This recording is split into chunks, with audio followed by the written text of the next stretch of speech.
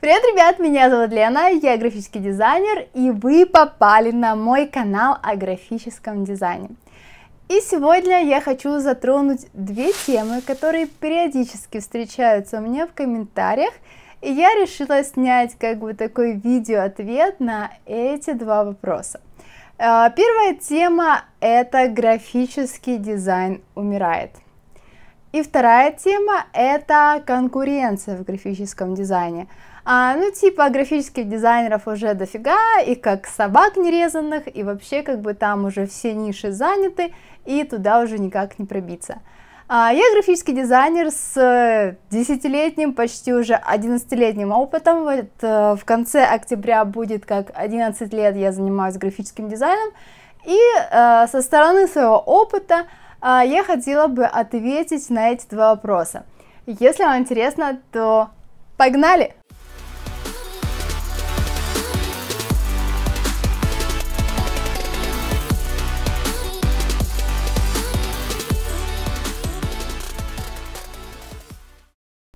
Графический дизайн умирает?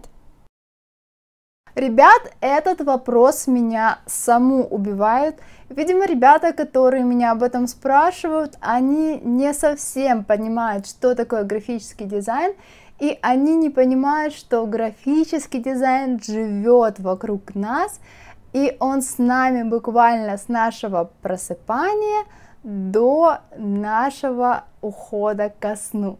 К графическому дизайну относится дизайн нашего постельного белья, нашей пижамы, в которой мы спим. Также каждое наше утро начинается с чистки зубов, и дизайн упаковки нашей зубной пасты – это тоже графический дизайн. Потом нам хочется выпить кружечку горячего кофе, и дизайн нашей кружки – это тоже графический дизайн.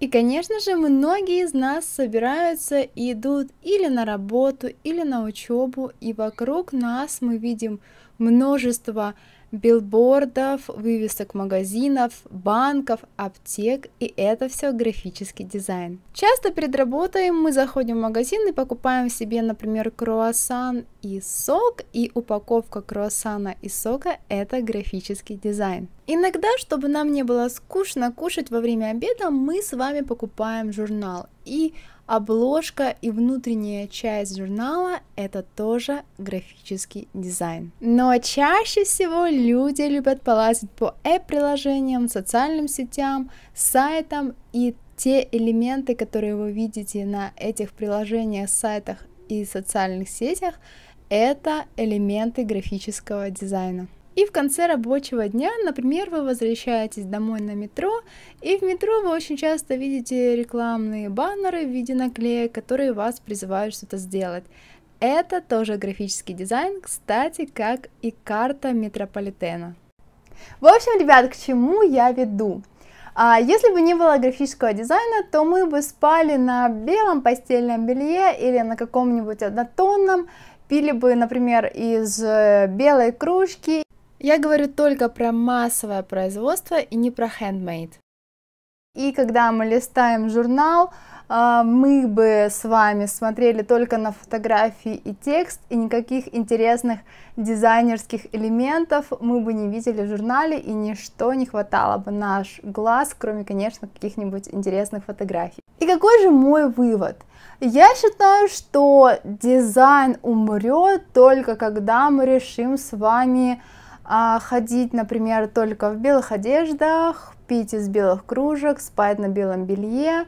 А мы решим с вами, что нам не нужны соцсети, приложения игры, а, и вообще как бы дизайн вокруг нас для нас уже станет каким-то неважным, неинтересным, мы захотим все такое однотонное, белое, а, такое все одноцветное и я считаю очень-очень скучное и неинтересное.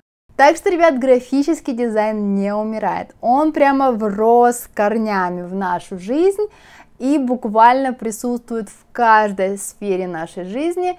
Я даже не могу вам назвать ту сферу, где нет графического дизайна. Конкуренция в графическом дизайне. Я периодически получаю от вас сообщения, где вы пишете, А Лена сейчас куда ни плюнь, каждый дизайнер, и как вообще можно а, в этой конкурентной среде получить какой-то заказ, зарабатывать деньги, это сейчас уже нереально, и этот вопрос как бы закрыт, все, конкуренция просто душит, и никак-никак не пробиться. Ребят, для меня люди, которые так пишут, это люди, которые не любят графический дизайн и не хотят быть в профессии. А сейчас я вам объясню почему. Давайте я вам приведу такой жизненный пример на профессии, которая понятна абсолютно-абсолютно каждому. Смотрите, например, профессия врача.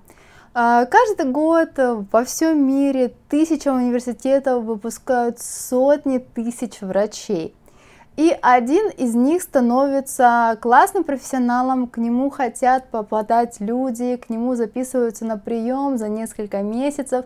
Неважно, частная у него практика или он работает в обычной поликлинике. И буквально напротив в кабинете может сидеть врач, к которому никто не ходит, а ходят только бабушки, которым положено бесплатное медицинское обслуживание. И почему так происходит? Потому что первый врач, он любит свою работу, он хотел помогать людям, и он э, просто не может представить своей жизни без помощи людям. Другой же врач, э, кто-то ему сказал, что, «А знаешь, э, доктор неплохо зарабатывает деньги, а ты можешь туда пойти, что там, посмотришь в горло, там послушаешь а, не знаю, как человек дышишь, послушаешь спину, и будет у тебя счастье, будут у тебя деньги. И вот человек пошел, отучился, не хотя быть врачом и не хотя никому помогать. И вот теперь он сидит в кабинете и жалуется, вот зачем я пошел на эту профессию, оказывается, здесь нет денег и все в этом роде. Это все можно применить к любой профессии, конечно, и также к профессии графического дизайнера. И люди, которые жалуются, что в дизайне уже все занято, что конкуренции полно и что заказы получить нереально, они как раз таки те, которые шли в эту профессию не из-за любви к этой профессии, а из-за того, что им сказали, что здесь э, вводятся денежки. Что касается меня, а, я любила дизайн еще со школы. Конечно, я не знала тогда, что это дизайн, я любила что-то делать, что-то украшать, ну, в общем, это была моя тема, дизайн. А, и потом, когда я увидела работы профессиональных графических дизайнеров, мне было 22 года, а, я поняла, что это мое, я влюбилась с первого взгляда. А месяца три я училась графическому дизайну и потом начала зарабатывать свои первые маленькие денежки. Денежки я стала зарабатывать на фотобанках. Э, кто со мной знает, что такое фотобанки, кто не знает, что такое фотобанки, то я оставлю ссылочки под этим видео. И первая продажа дизайна у меня произошла буквально через два дня, когда я добавила первую, э, первые пять работ – но я всегда говорю, что первая продажа была через два дня, но я ни разу не рассказывала, что вторая продажа у меня была через полтора месяца после первой продажи.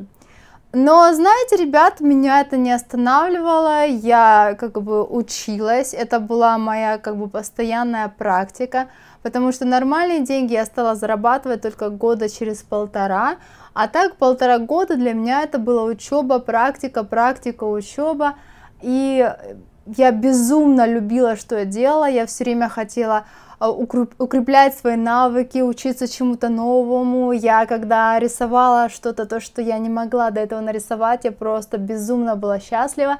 И до сих пор, когда я создаю дизайны, когда я делаю, допустим, уроки на своем YouTube-канале, создаю дизайны, то просто я безумно счастлива. Я очень люблю эту работу, и мне очень радостно, э, мне очень радостно, когда я получаю еще отклик от вас. Что же у меня сейчас? У меня сейчас более 10 тысяч работ на фотобанках. Я зарабатываю в среднем 700-800 евро на фотобанках. Это, конечно, не все. Я еще выполняю кое-какие заказы. Еще иногда мне предлагают удаленную работу на постоянной основе. На постоянной основе я не хочу, потому что я не буду чувствовать себя тогда а, свободным художником, а мне это очень-очень нравится. А, Мое основное портфолио находится на Дрибле. Дрибл это такая социальная сеть для графических дизайнеров. А кто не знает вообще про нее ничего, то можете посмотреть вот в этом видео. И вот с помощью дрибла мне переходят вот именно оттуда а, предложения о постоянной работе. А заказы я тоже сама не ищу. Мои, мое портфолио на фотобанках дает мне то, что люди оттуда приходят и просят меня сделать что-то новое. И также с дрибла, да, приходят а, ко мне заказы именно на, ну вот именно вот здесь и сейчас что-то выполнить. Моим заказчикам нравится, как я выполняю работу, как я делаю композицию, как я подбираю цвета, как я делаю дизайны, а, как я соблюдаю сроки. Я всегда делаю задания чуть раньше срока, потому что я, когда беру задание, я беру себе время с запасом, и поэтому люди думают, что вау, я делаю все быстрее, на самом деле я беру себе запас, но об этом лучше, конечно, вашим заказчикам не знать, что вы берете за запас на работу. Для своего портфолио я выбрала Dribble, он мне очень нравится, но есть также а, такие места, как Behance, еще неплохое место, я считаю, LinkedIn, а, ну, допустим, а, хочу вам для примера сказать, что мне предлагают в удаленной работе. А, вы спокойно можете зайти посмотреть на мое портфолио на Dribble. Люди также заходят на мое портфолио и предлагают мне работу, исходя и видя, э, что я умею. Мне предлагают удаленную работу в районе а, зарплаты месячной от 900 долларов до 2000 долларов. А, это такая средняя зарплата по Европе и немножко, конечно, не очень высокая зарплата для Америки, но а, это все-таки удаленная работа, то есть не надо жить в Америке и а, жить по тем ценам и по тем реалиям, которые в Америке, то есть вы тоже да, можете жить а, в России, в Украине, в Беларуси, в Казахстане и иметь удаленную работу где-то, но вот просто еще раз хочу сказать, просто постоянная работа не для меня, мне нужна свобода. Итак, мой вывод по этой теме. Если вы любите графический дизайн, вы постоянно будете хотеть учиться, развиваться, узнавать что-то новое. Если вы человек, который хочет узнать что-то один раз и навсегда и больше никогда ничему не учиться, то графический дизайн однозначно не для вас, и у вас ничего не получится. Ну что, ребят, на сегодня это все. Надеюсь, я вас смогла убедить, что графический дизайн не умирает и что конкуренция, она только в вашей голове. И если у вас есть любые вопросы про дизайн, то спрашивайте под этим видео. И, конечно же, если вам понравилось это видео, то жду от вас лайк. И подпишитесь, если вы еще не подписаны. Здесь, на этом канале про графический дизайн, мы будем еще очень много разговаривать. Будет много уроков в программе Adobe Illustrator. Ну все, ребят, пока-пока. Целую. Пока.